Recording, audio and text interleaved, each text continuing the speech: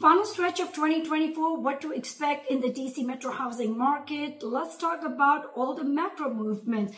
We're talking about election, unemployment going up, recession worry, stock market in a big swing on the micro level with DC Metro. So obviously we are a little bit more sensitive with the election years, the turnovers happens left or right. So stay tuned on my updates when it comes to post-election of this year. So let's talk about what to expect in the final stretch. Bigger monster NAR settlement. I get asked all the time, Ritu, what's the impact of the NAR settlement? For now, with the shift in the market, I'm not seeing a direct shift on the impact of the NAR settlement, which means that the sellers continue to pay our buyer broker commissions. Buyer understands that they need to sign the buyer broker agreement if they want to be represented and want to see the home. So those are the big changes but indirectly or directly, not a major movement as a 20-year veteran realtor, I'm seeing it. Home seller, this is your time not to test the market with overpricing your home. Again, be sensitive. The buyers have choices at the moment with the light, right um, staging, listing strategy, marketing strategy. You can still receive multiple offers on your listing in the 2024 end of the year market. Home buyers, yes, you do have choices. Condo buyers, ample of choices.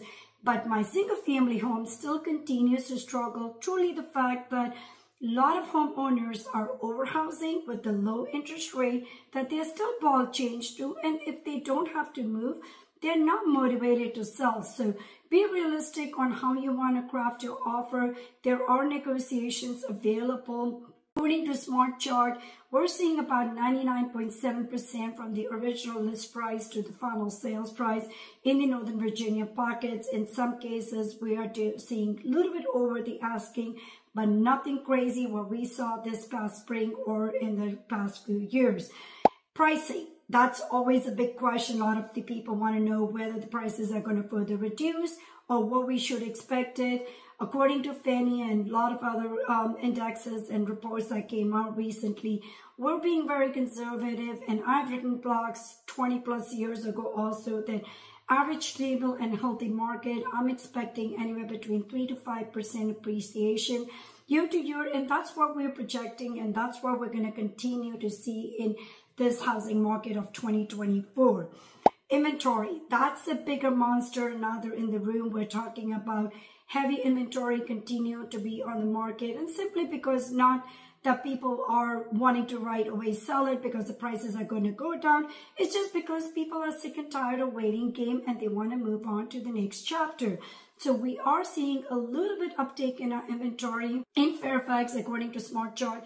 I've seen about 28% active listing compared to last year, August, and in Loudoun County, about 20%. So overall, we are seeing about 20 plus active listing in the marketplace at the moment.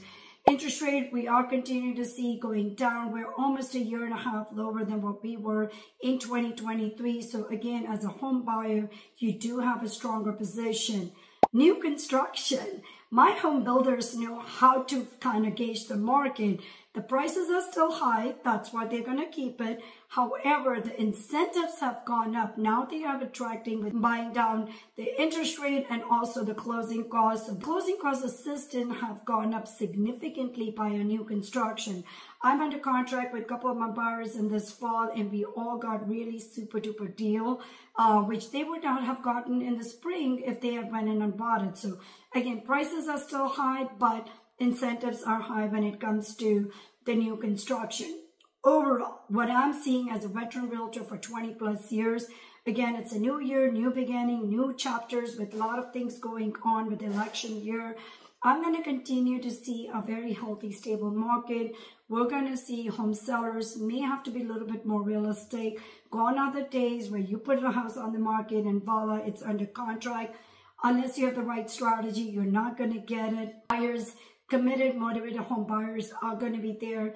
Don't sit on the fence and wait it out for the interest rate to drop again in spring when the big herd comes back with the school year and stuff. If you want to capture this market, this is your golden time to do it. If you want an in-depth analysis or with your unique situation, DM me. I'm always here to share my experience at no obligation and sit down with you on what's the right time and navigate you in this micro moving market of the DC metro area.